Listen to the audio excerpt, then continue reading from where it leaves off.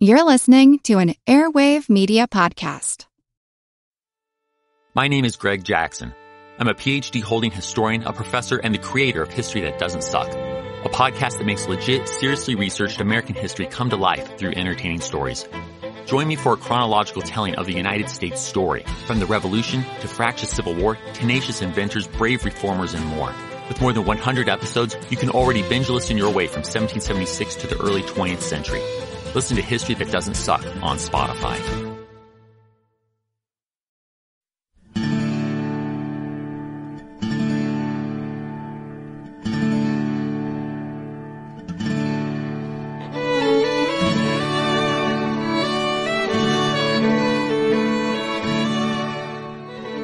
Hey everyone, thanks for tuning in to episode 56 of our Civil War podcast. I'm Rich.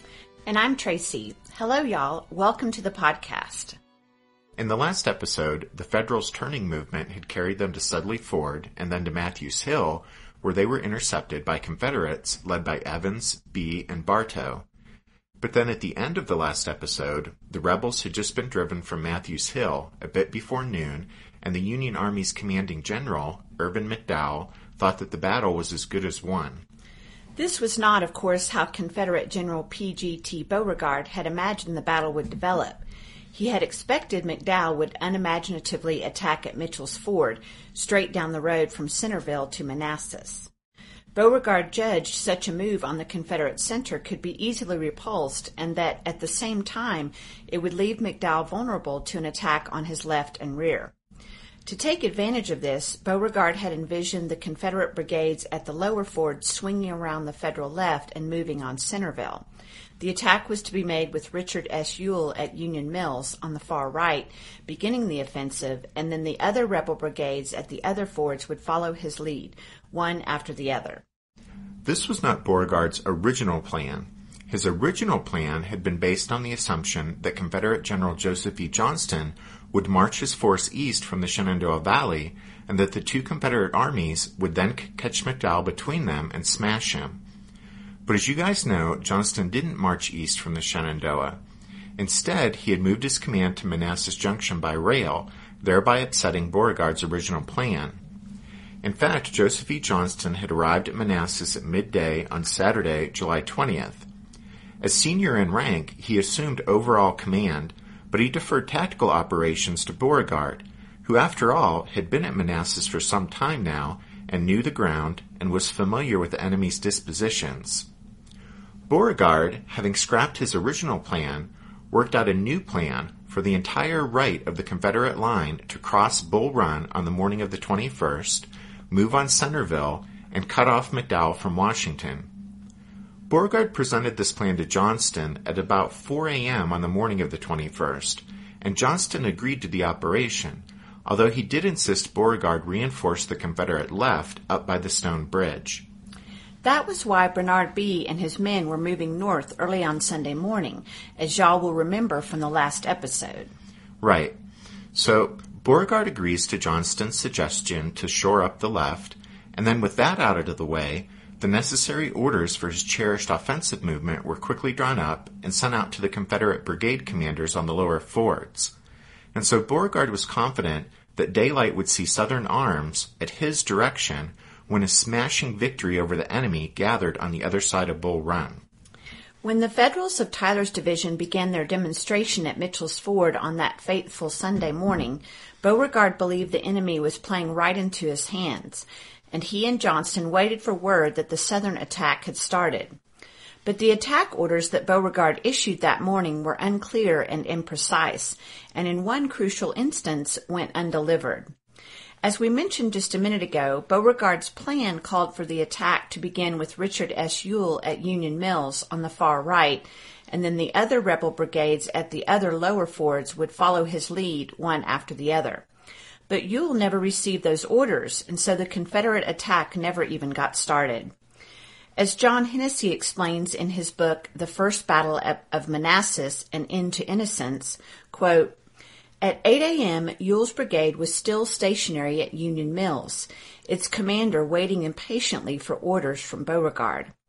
What happened to the courier assigned to carry the attack order from Beauregard to Ewell is not known. Beauregard later admitted, Our guides and couriers were the worst set I ever employed. But whatever the cause, the result was that the miscarriage of Ewell's orders paralyzed Beauregard's bold stroke and put the initiative squarely in Irvin McDowell's hands. It's an interesting what if to wonder what would have happened if Beauregard's attack plan had been carried out on the morning of Sunday, July 21st. What if the Confederates would have stormed across the lower fords and headed for Centreville, even as McDowell's flanking column off to the north was still struggling to make its way to Sudley Ford. Hmm. Well, like I said, it's an interesting what if.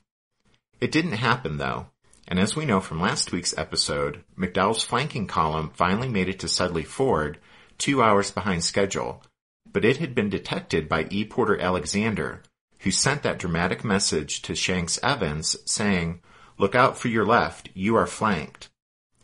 And so then Evans boldly rushed over and intercepted the Federal turning movement at Matthews Hill.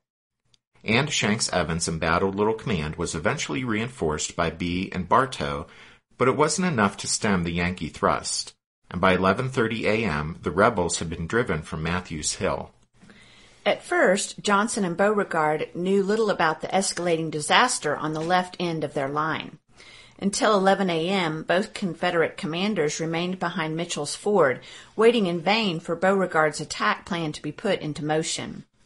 They had received E. Porter Alexander's earlier warning and could also hear intensifying fire off in the distance to the north, but they had already sent Bee to bolster the left, so with that help, the two Confederate commanders thought Evans could handle whatever was going on up there. But then it became apparent Beauregard's attack plan had been derailed and also the firing on the left was growing louder by the minute. And it had become obvious as the morning wore on that the Federals at Mitchell's and Blackburn's fords weren't actually intent on attacking. So by about 11 a.m., the situation had become crystal clear, at least to Joseph E. Johnston. He realized the Federals were turning the Confederate left, and so he made a decision, telling Beauregard, the battle is there. I am going.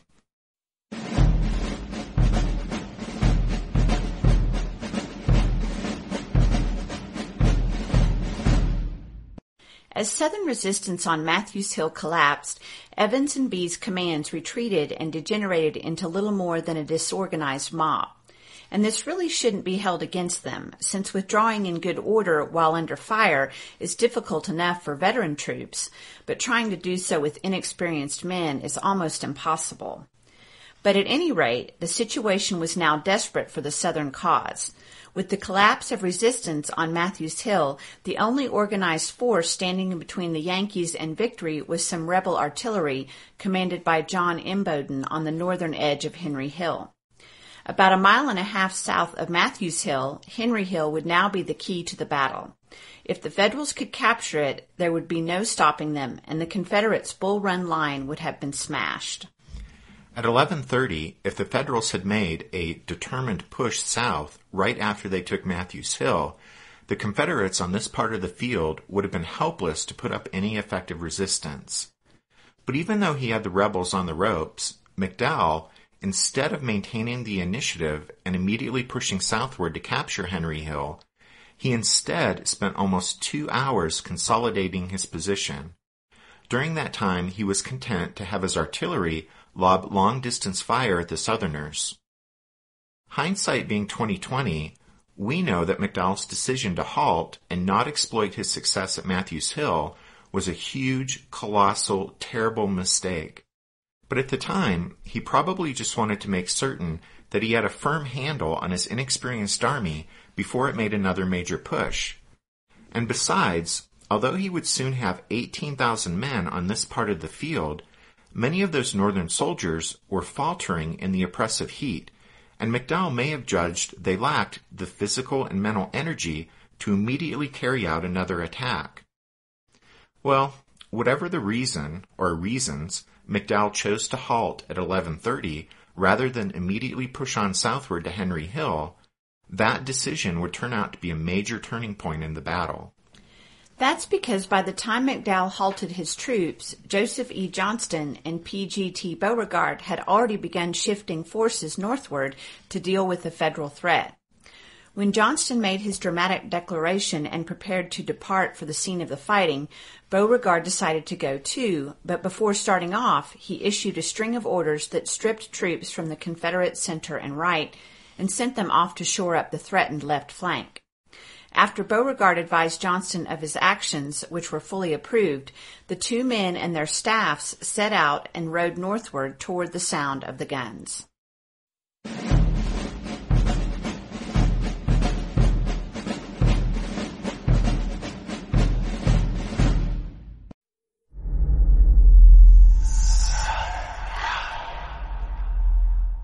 Hey y'all, spooky season is here.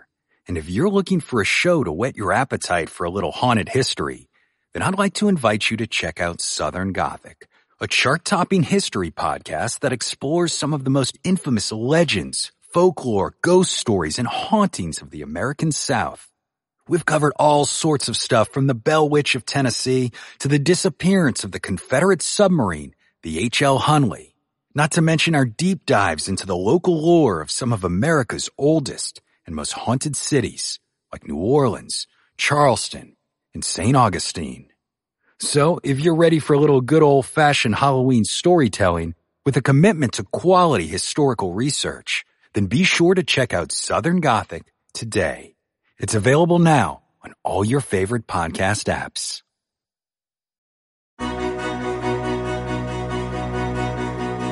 History never says goodbye. It just says, see you later. Edward Galeano was right when he said that. Events keep happening over and over again in some form. And that's the reason I produce the podcast My History Can Beat Up Your Politics. What is it? We take stories of history and apply them to the events of today to help you, perhaps, understand them better. We are also part of Airwave Media Network. I've been doing the program since 2006. That's a long time, and the show has a long name. My history can beat up your politics.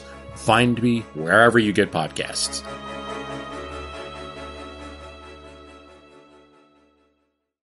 In the meantime, while Johnston and Beauregard were still waiting down at Mitchell's Ford, one small Confederate unit had been marching toward the sound of the guns and it arrived on the scene as the battle for Matthews Hill was winding down. As Ethan Rafuse explains in his book A Single Grand Victory, quote, the first Confederate reinforcements to arrive at Henry Hill were the 600 men of the Hampton Legion, which just that morning had arrived by train from Richmond. Commanded by Colonel Wade Hampton, one of the wealthiest slave owners in the entire South, the Legion was a South Carolina unit clad in the finest uniforms and equipped with the best gear that their commander's deep pockets could provide. Greeted at Manassas Junction by orders from Beauregard to march toward the stone bridge to support Evans, Hampton led the South Carolinians to Portici. There, informed by a scout of the situation on the Confederate left, Hampton directed his men to head for Henry Hill. And if y'all have forgotten, Portici was the home of Francis Lewis, and it stood near Ball's Ford. Right. So the Hampton Legion arrived at Henry Hill just as the rebel line on Matthews Hill broke, and Wade Hampton found that the Widow Henry's fields were covered with hundreds of retreating, disorganized men from Evans, Bee's, and Bartow's commands. In the midst of that chaotic scene, Hampton directed his men into position near the Robinson House, which lay just to the east of the intersection of the Manassas Sudley Road and the Warrenton Turnpike. From there, Hampton could see the Federal masses gathering to the north, and his men came under fire from the Federal artillery on Dogan Ridge. As the Hampton Legion deployed near the Robinson House, they found themselves confronting an unauthorized Union advance by elements of Porter's brigade from Hunter's division. McDowell was still consolidating his position when this unsanctioned advance from Matthews Hill went forward. It started when the 27th New York pushed southward to clear the area along the Sudley Road of the last remnants of the fleeing Confederate defenders, but then the New Yorkers veered east to escape the fire of Imboden's guns on Henry Hill. The Federals advanced to within 200 yards of Hampton's line until they saw troops clad in gray with their flags furled. Confused as to whether the men were friend or foe, the Federals hesitated to open fire. Lieutenant H. Seymour Hall of the 27th New York recalled, quote, their colors were furled, and their gray uniforms did not sufficiently designate them, as many of our own troops wore the same color. We were yet lacking in discipline, so while many of us shouted fire, others yelled, don't shoot, it is the Massachusetts Regiment, or the 8th New York. Tall Bob Frazee at my elbow on the right of my company, with a voice like a foghorn, shouted to them, show your colors, when they shook out the rebel flag and opened a terrific fire of musketry on us. That settled it, and gallantly and coolly we gave them the best we had. The New Yorkers and South Carolinians then engaged in a vicious little firefight that saw Hampton's horse shot out from under him and his second in command, Lieutenant Colonel Benjamin Johnson, killed. Eventually, though, the Legion's volleys drove off the 27th New York. But then Colonel William Averell, who was actually now commanding Porter's brigade, since after things got sorted out at Matthews Hill, Porter had assumed command of the wounded Hunter's division. But anyway, Averell quickly tired of standing idly by when he could see Henry Hill was now the key to winning the battle. So on his own initiative, he led forward the 8th New York and the 14th Brooklyn. But instead of charging straight up Henry Hill, the two Federal regiments veered east toward the Robinson House, just as the 27th New York had done. And then, as they traded fire with the Hampton Legion, newly placed Confederate artillery on Henry Hill hit them hard, and first the 8th New York and then the 14th Brooklyn wavered and then broke. But even though the Union soldiers retreated away from the punishing artillery fire, their unsupported advance had still been enough to force Wade Hampton's battered little command to finally yield its position and withdraw. As the Legion's survivors withdrew to some woods on the east flank of Henry Hill, they saw that their defensive stand near the Robinson House had bought precious time for more Confederate reinforcements to arrive on the scene. Sixteen-year-old Private John T. Coxe of Hampton's Legion remembered that, quote, by this time we didn't care much as to what happened. Our rifle fire sounded like the popping of caps, our throats were choked with powder, and we were burning up with thirst. At length, becoming alarmed at our isolated position, Connor shouted and said, Fall back in good order, men. And after we got back of the Robinson house, there was a lull in the noise of battle. We got mixed up with many strange troops, apparently in panic, and whom it was said that our fighting at the Warrenton Turnpike had saved, but just how we didn't know. After this, the Legion fought in squads, sometimes under company officers, but more often alone. Filtering down to the lower rim of the plateau, we found many mounted officers reforming tangled lines and receiving fresh troops, now constantly arriving from lower Bull Run. I saw men and horses charging about the Henry House. Then a big, fine regiment arrived from below and in line of battle was sent through the edge of the pine woods on the left of the Henry House. Then a big crowd of us went down into the pines and drank from a muddy pool. As we returned to the plateau, we heard a great volley of musketry about the Henry House and some cheering. By this time, there were many Confederates on the plateau and lines of battle were forming. I looked down the run and saw many regiments hastening up to us with banners streaming. As Private Coxe's account indicates, Hampton's Legion fell apart as it scrambled back, although many of its members still continued fighting, either in small groups or attached to other Confederate units. But just as Evans' stand on Matthews Hill had done, Wade Hampton's men had bought at least some of the time that Joseph E. Johnston and P.G.T. Beauregard desperately needed to stop the Yankee turning movement. Because while the South Carolinians of the Legion had been fighting alone there along the Warrenton Turnpike near the Robinson House, the area behind them, on Henry Hill, was a hive of activity as Southern reinforcements started to arrive on the scene.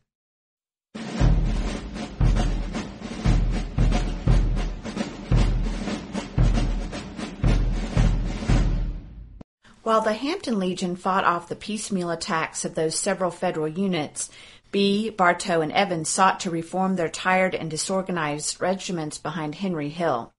Some of the exhausted Southern soldiers paid no mind to their officers, while others proved eager to rally and rejoin the fight. But into the midst of that confusion and commotion, a long line of fresh troops approached Henry Hill from the south. It was Brigadier General Thomas Jackson's 2,600 strong All Virginia Brigade. Jackson was coming to Henry Hill on his own initiative. His orders that morning had been to march north from the Confederate center and support Philip St. George Cocke's brigade covering Lewis's and Ball's fords. But shortly after arriving there, Jackson heard that the situation on the left was critical, so he hastened his men toward the sound of the guns. As Jackson's column approached the rear of Henry Hill, it passed through a mass of men making for the rear. Some were wounded, but many were not. One of Jackson's soldiers remembered that, quote, the wounded commenced passing us, some with the blood streaming down their faces, some with legs broken and hobbling along assisted by a comrade, and some seriously wounded and borne on stretchers. Those who could talk told us that their commands were cut all to pieces, and the day was lost. Such talk was very dispiriting to raw troops. It was calculated to make a boy wish himself a thousand miles away in bed at his mother's house.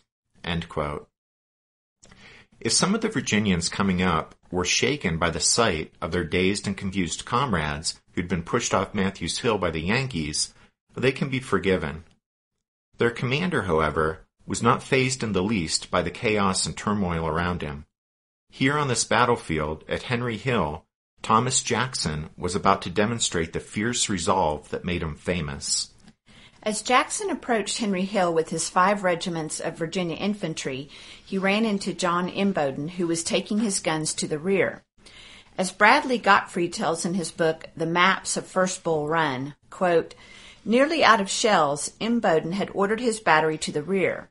As they bumped their way toward the approaching Virginians, Imboden complained to Jackson about how his men had been left without infantry support. Jackson responded, I'll support your battery, and limber right here. When Imboden replied that he had only three rounds left, Jackson told him he needed guns to give the illusion of strength and that he must remain there until fresh batteries arrived, even if his guns never fired another shot. Imboden immediately unlimbered on the southeastern edge of Henry Hill, about 300 yards from the widow Henry's house. About this same time, a frazzled Bernard Bee saw Jackson arriving on the field. Bee rode up to Jackson and, by way of greeting, exclaimed, General, they are driving us. To that, Jackson calmly responded, Sir, we will give them the bayonet. Jackson saw to the placement of his regiments on a 500 yard front. He positioned the 4th Virginia and the 27th Virginia behind Imboden's guns in the spot he decided would be the center of his line. To their right, Jackson placed the 5th Virginia. Then on the left, he put the 2nd Virginia, and finally on the far left of his line, he positioned the 33rd Virginia. Jackson then ordered his men to lie down. Rather than arrange his brigade on the crest of the hill, Jackson had aligned his men on the wooded reverse slope of Henry Hill. Jackson hadn't witnessed Nathan Evans try the same thing earlier on Matthews Hill, but Jackson had now adopted a similar deployment.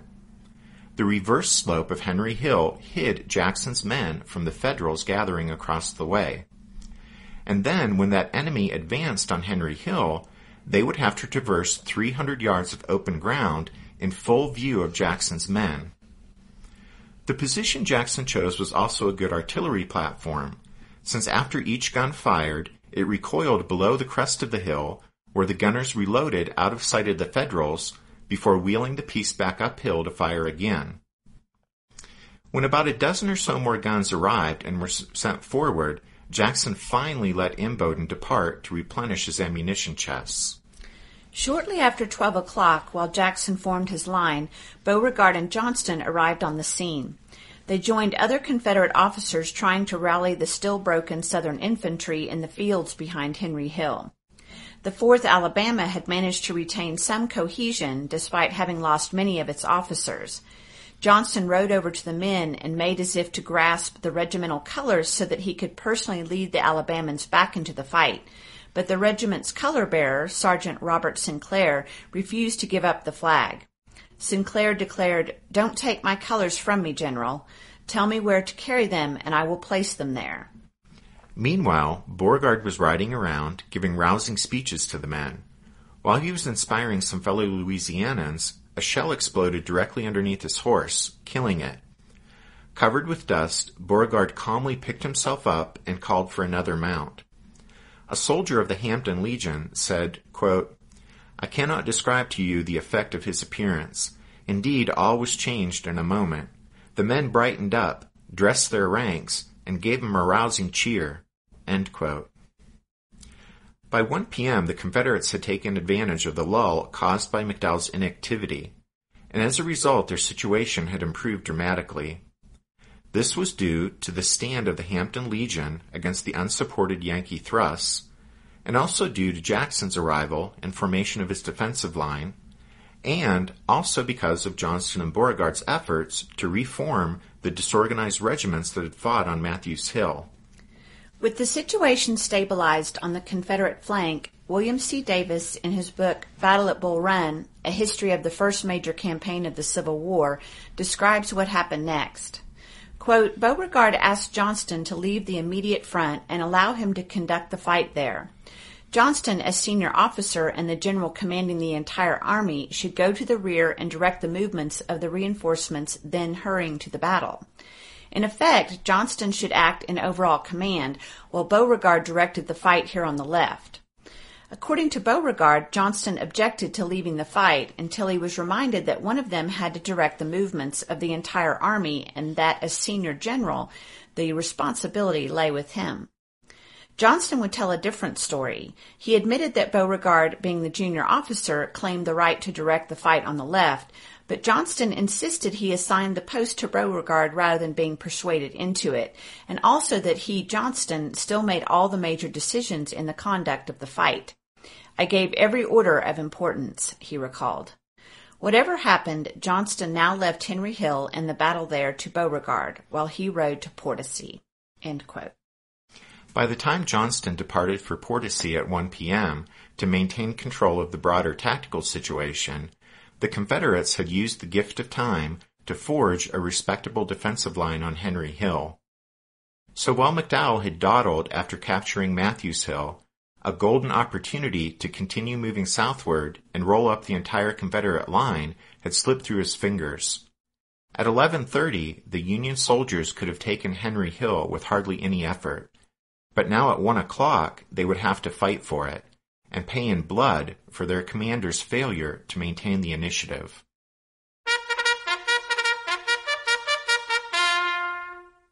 That means it's time for this episode's book recommendation. And our recommendation this time is actually a back issue of one of our favorite Civil War publications, Blue and Gray magazine. Yeah, we like Blue and Gray a lot. And volume 27, number 5, from back in 2011, was a special issue for the 150th anniversary of the First Battle of Manassas. Um, there's an excellent article about the battle itself, written by a National Park Service ranger stationed at the battlefield, and then there's also a really helpful detailed driving tour um, in case you're actually able to visit the battlefield. So that's Blue and Gray Magazine, Volume 27, Number 5. As always, you can find all of our recommendations on the podcast website, which is www.civilwarpodcast.blogspot.com. You can also find links there to our Facebook page and Twitter feed. Thanks to everyone who has joined those lately. And then you can also go to the website to help support the podcast, like Steve H. and Andrew R. did this past week. Thank you guys. All right, I think that's it. Uh, so thanks for listening to this episode of the Civil War, 1861 to 1865, a history podcast. We hope you'll join us next time when we find out how Thomas Jackson got one of the most famous nicknames in military history. But until then, take care. Thanks everyone. Bye.